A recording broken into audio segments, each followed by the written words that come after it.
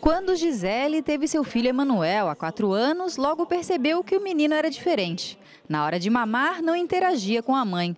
Ao longo dos meses, outros detalhes no comportamento da criança levaram ao diagnóstico de autismo. No aniversário de um ano dele, ele teve pouca interação social, ele não gostou dos parabéns, ele teve né, teve a resposta diferente às outras crianças. E em casa também, com a mesma idade, cerca de um ano, ele não olhava nos olhos, ele não escutava o que a gente falava para ele, ele fazia fila com os brinquedos, não dava funcionalidade ao carrinho, só a roda, girava os objetos, tudo para ele era girar. Ele se autopunia, batia, ele se batia quando ele fazia alguma coisa errada, batia com a cabeça na parede, não falava. O caso de Emanuel não é isolado. Segundo a Associação de Pais e Amigos dos Autistas de Florianópolis, somente na capital existem quase mil pessoas com a síndrome. Diretora da entidade, Vera Lúcia, alerta que é preciso prestar atenção aos principais sintomas. Quando vê que ele está assim meio sozinho, afastado, não se comunica, não se interage, não olha nos olhos, sabe?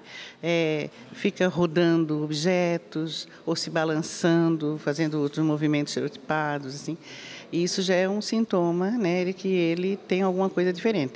Para ampliar a disseminação de informações sobre a síndrome, a Associação de Pais e Amigos dos Autistas de Florianópolis realiza nesse sábado uma caminhada de conscientização. O evento começa às 9 horas da manhã no Trapiche da Beira Mar Norte, no centro de Florianópolis. Essa caminhada é importante. Vamos ter nessa caminhada profissionais da área dando explicações, né, e, e informações. Temos informativos, panfleto, é, folders. E justamente é, é bem para isso mesmo, para saber que o autismo está em alta e que tem que procurar as famílias que, tem, que recebem um diagnóstico ou que têm uma suspeita, procurem-nos. A gente está lá para isso, para fazer o acolhimento, né? porque isso é muito importante, o acolhimento, quando a família recebe o diagnóstico, tem uma desconfiança, e já começar a fazer o tratamento.